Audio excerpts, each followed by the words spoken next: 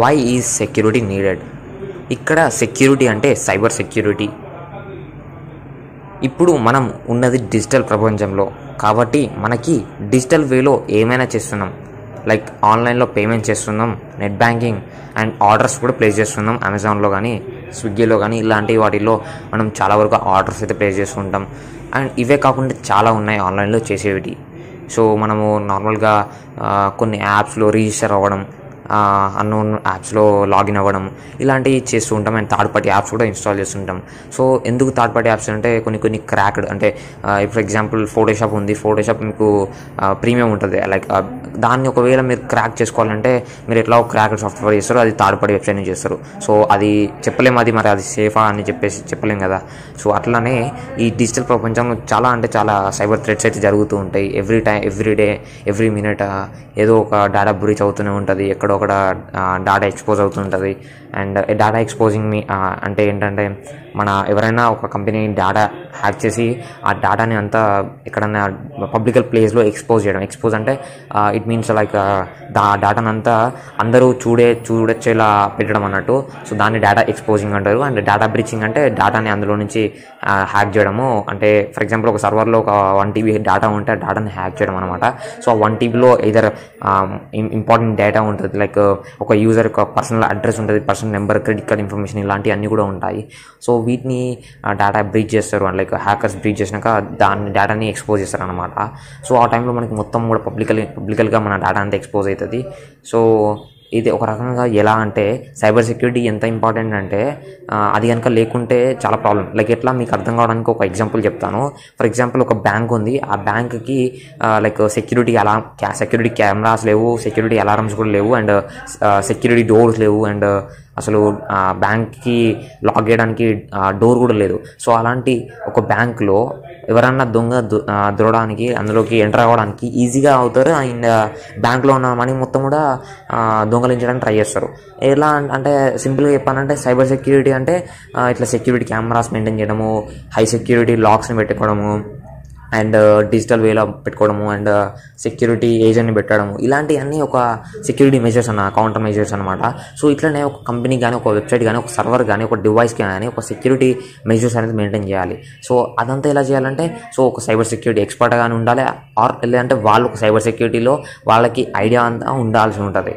And uh, like మనము Paytm ఇట్లాంటి payments చేస్తూ ఉంటాము. సో ఫర్ ఎగ్జాంపుల్ మన కనుక మన డెబిట్ కార్డ్ ఇన్ఫర్మేషన్ కానీ మన పేటిఎం అకౌంట్ కానీ ఎవరైనా హ్యాక్ చేశారనుకోండి సో వాళ్ళు అననిమస్గా వాళ్ళు అందులో ఉన్న బ్యాలెన్స్ అంతా కూడా అమౌంట్ అంతా కూడా వాళ్ళు ట్రాన్సాక్షన్స్ అయితే చేసుకుంటారు.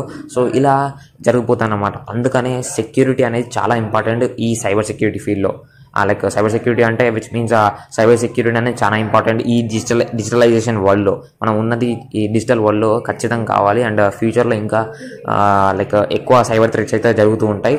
అండ్ అందుకే మేము బగ్ హంటింగ్ కోర్స్ కూడా స్టార్ట్ చేసినాము. ఏమంటే దానివల్ల ఏంటంటే వెబ్సైట్లో కానీ కంపెనీలో కానీ వనరబిలిటీస్ ఫైన్ చేసి అది కంపెనీ రెస్పెక్టివ్ ఓనర్స్ ఉంటారు కదా లేదంటే టీమ్ డెవలపర్స్ టీమ్ ఉంటారు కదా వాళ్ళకి ఇన్ఫార్మ్ చేయడం వల్ల వాళ్ళు ఏంటంటే బగ్ బౌంటీ అన్నట్టు. బౌంటీ అంటే ఒక రివార్డ్ లాగా. ఆ రివార్డ్లో మేబీ మనీ ఉండొచ్చు మన మన కోసం ఒక ఫేమ్ ఒక బోర్డు కూడా పెట్టి మన పేరు కూడా పెడతారు అందులో. సో ఇదర్ రివార్డ్ లైక్ మనీ కానీ లేదంటే మన పేరు కానీ ఇట్లా ఆల్ ఆఫ్ ది ఫేమ్లో పెడతారు. సో ఇది bug hunt bug bug bounty hunting అనమాట దీనికోసం మేము సపరేట్ కోర్స్ చేసాము అండ్ ప్రజెంట్ అయితే మనం వాట్ ఈస్ ఎథికల్ హ్యాకింగ్ అయితే చూసాము. హ్యాకింగ్ అంటే ఒక డివైస్ ఆర్ సర్వర్ ఆర్ వెబ్సైట్లో అనాథరైజ్డ్ యాక్సెస్ అనాథరైజ్డ్ యాక్సెస్ అంటే వాళ్ళ పర్మిషన్ లేకుండా అనాథరైజ్డ్ యాక్సెస్ గెయిన్ చేస్తే హ్యాకింగ్ అంటారు. ఇది చాలా మందికి తెలుసు. మరి ఎథికల్ హ్యాకింగ్ అంటే ఎథికల్ హ్యాకింగ్ అంటే వాళ్ళ సర్వర్ ఆర్ వెబ్సైట్లో ఓనర్స్ పర్మిషన్ తీసుకొని హ్యాకింగ్ చేయడానికి ట్రై చేస్తారు. ఇక్కడ వాళ్ళు ఎథికల్గా అంటే న్యాయంగా హ్యాకింగ్ చేస్తారు. సో వాళ్ళు చేసే ప్రతిదీ కూడా లాస్ అండ్ ఎక్కడ కూడా బ్రేక్ చేయరు. అండ్ ప్రతిదీ కూడా లీగల్గా చేస్తారు.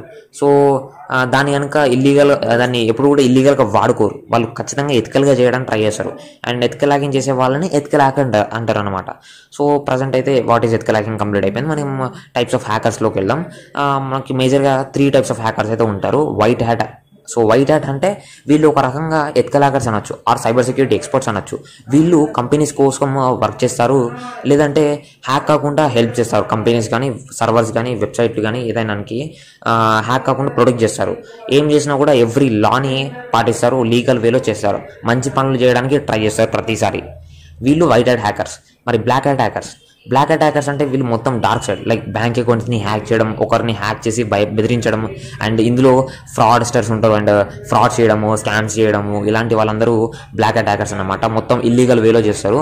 And when it comes to grey hat మనకి వైట్ హ్యాట్ కంప్లీట్ అయింది బ్లాక్ హ్యాట్ కంప్లీట్ అయింది గ్రే హ్యాట్ గ్రే హ్యాట్ అంటే సింపుల్ వర్డ్స్ uh, వీళ్ళు వైట్ ప్లస్ బ్లాక్ అనమాట white hat plus black hat అనమాట సో మీకు అర్థమైంది అనుకుంటున్నా. ఇక్కడ గ్రే హ్యాట్ అంటే both white attacker and black black అటాకర్కి ఉండే స్కిల్స్ అన్నీ కూడా ఉంటాయి వీళ్ళకి గ్రే అటాకర్కి అండ్ వీళ్ళు వాళ్ళ స్కిల్స్ని టెస్ట్ చేయడం చేసుకోవడం కోసం అని చెప్పేసి వాడుకుంటారు. అంటే అంటే వాళ్ళకి ఈ స్కిల్ ఉందా లేదంటే నాకు ఇది ఇలా వచ్చిందని చెప్పేసి వాళ్ళు అది సక్సెస్ అవుతా లేదా అంటే దానికోసం టెస్ట్ చేస్తారు. కానీ హామ్ చేయడానికి మ్యాక్సిమం ట్రై చేయరు. కాకపోతే కాకపోతే కొంతమంది చేసి చేయడానికి ట్రై చేస్తారు. హామ్ కూడా చేస్తారు. అండ్ ఇంకో కొంతమంది గ్రే అటాకర్స్ ఫన్ కోసం చేస్తారు. అంటే వాళ్ళ ఫ్రెండ్ని కానీ ఎవరన్నా ఏడిపించడానికి లేదంటే ఆట పట్టించడానికి ప్రాంక్ చేయడం కోసం వాళ్ళ హ్యాకింగ్ స్కిల్స్ని యూజ్ చేస్తారు. వాళ్ళని గ్రే హ్యాట్ హ్యాకర్స్ అంటారు. సో మీకు అర్థమైంది అనుకుంటున్నా. And suicide hackers suicide hackers అంటే వీళ్ళు ఏం హ్యాక్ చేసినా కూడా వాళ్ళు చావడానికైనా రెడీగా ఉంటారు. ఎంత పెద్ద పని చేసినా అయినా జైలుకి కానీ లేదంటే వాళ్ళు ఉరిశిక్ష పడ్డ పడ్డానికైనా కూడా వాళ్ళు రెడీగా ఉంటారు. అంత అంత పెద్ద పనులను చేస్తూ ఉంటారు suicide hackers and script kiddies script kiddies అంటే స్క్రిప్ట్ కిడ్డీస్ అంటే స్క్రిప్ట్ అంటే ఒక కోడ్ ఏదైనా ఒక కోడ్ కమాండ్ కానీ కోడ్ కానీ ఎవరైతే కిడ్డీస్ అంటే కిడ్డీస్ అంటే ఒక రకంగా చిన్నపిల్లల్లాగా ఆ స్క్రిప్ట్ని కాపీ చేయడానికి ట్రై చేస్తారు కాపీ పే చేస్తూ ఉంటారు. ఫర్ ఎగ్జాంపుల్ వీళ్ళు ఎట్లా అంటే యూట్యూబ్లో కానీ గూగుల్లో కానీ ఎవరైనా చెప్పిన కోడ్ని కానీ మెథడ్ని కానీ బ్లైండ్గా ఫాలో అవుతారు. అండ్ అసలు ఆ కోడ్ ఎందుకు ఏమిటి అనేది కూడా తెలియదు. ఆ స్క్రిప్ట్ కాపీ చేసి పే చేసి దాన్ని వాళ్ళు అంటే ఒక రకంగా చెప్పాలి అంటే దాన్ని అదంతా చేసినాక లాస్ట్కి ఫైనల్ రిజల్ట్ ఏమొస్తుందో కూడా తెలియదు. అసలు ఏమవుతుందో కూడా దానివల్ల ఇంపాక్ట్ కూడా వాళ్ళకి అర్థం కాదు. సో అలాంటి వాళ్ళు స్క్రిప్ట్ కిడ్డీస్ అనమాట ఒక రకంగా చిన్నపిల్లల పనులన్నీ చేసేవాళ్ళు స్క్రిప్ట్ కిడ్డీస్ అందుకనే ఈ స్క్రిప్ట్ ఎవరైతే కాపీ చేస్తుంటారో వాళ్ళని స్క్రిప్ట్ కిడ్డీస్ అని అంటారు. Steps in ethical hacking. Ethical హ్యాకింగ్లో first step వచ్చేసి ఫుడ్ ట్రెండింగ్ అనమాట this is also called as reconnaissance reconnaissance అన్న ఫుడ్ ట్రెండింగ్ అన్న రెండు సిమిలర్ వర్డ్సే విచ్ మీన్స్ లైక్ రెండు మీనింగ్స్ కూడా రెండు సేమ్ మాత్రమే. ఇందులో ఫుడ్ ట్రెండింగ్ అన్న రికానాన్సిస్ అన్న సేమ్ అన్నాను కదా. అసలు ఫుడ్ ట్రెండింగ్ అంటే ఏంటి? ఫుడ్ ట్రెండింగ్ అంటే ఇన్ఫర్మేషన్ గ్యాదర్ చేయడం అనమాట సో ఫస్ట్ మీరు ఒక టార్గెట్ పెట్టుకోవాలి. టార్గెట్ పెట్టుకుంటేనే ఆ టార్గెట్ని రీచ్ అవ్వడం.